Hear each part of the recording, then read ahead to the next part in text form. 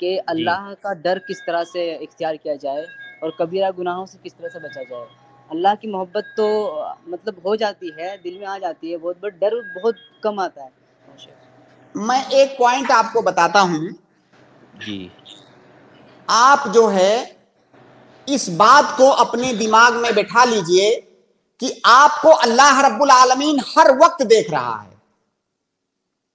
आप जो भी हरकत कर रहे हैं अल्लाह रब्बुल आलमीन सब कुछ देख रहा है सब कुछ जान रहा है।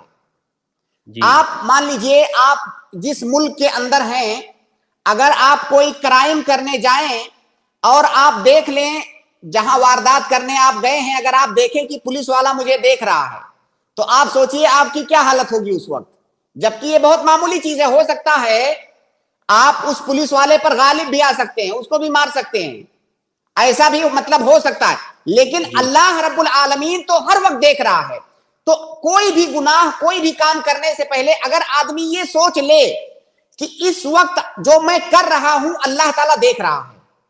मैं समझता हूँ कि खौफ पैदा करने के लिए इससे बड़ी बात और कोई नहीं हो सकती है कि आपको पता हो कि अल्लाह ताला इस वक्त मुझे देख रहा है। जी। तो आदमी वैसे ही शर्मिंदा हो जाएगा। कि भाई मैं ये काम कैसे करूँ? अल्लाह ताला मुझे देख रहा है इस वक्त।